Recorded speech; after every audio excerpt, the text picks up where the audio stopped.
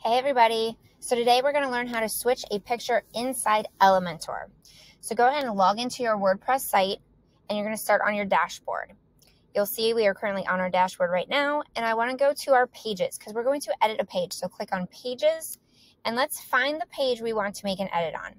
For this purpose, I'm just going to go ahead and use this um, page that's in draft mode and you'll see when you hover over it, you get an option for edit, quick edit, and edit with Elementor. Since we're using Elementor, we're just going to bypass some extra steps and click Edit with Elementor. You'll see this opens up our editing screen directly, and you can hover over all the different areas that are built into your page. Now, if you want to switch an image, you're going to hover over that image and click on that image, which now gives us the panel on the left-hand side for modifying. So you'll see up here, we have a choose image and we're going to select that to replace the existing image.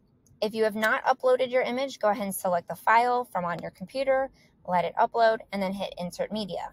For this, we've already uploaded a file, so we're to go to Media Library, click on a picture that we want to use, and hit Insert Media.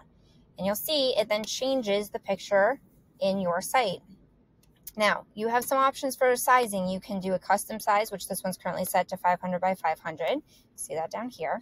You can select thumbnail, which will be the little itty bitty 150 by 150.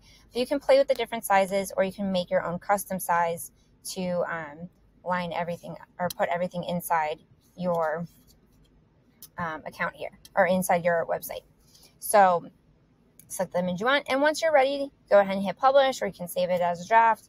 Um, I'm not going to save this because we don't actually want to save this change, but this hopefully will allow you to see where you go to make a change to a picture. If you have questions, let me know.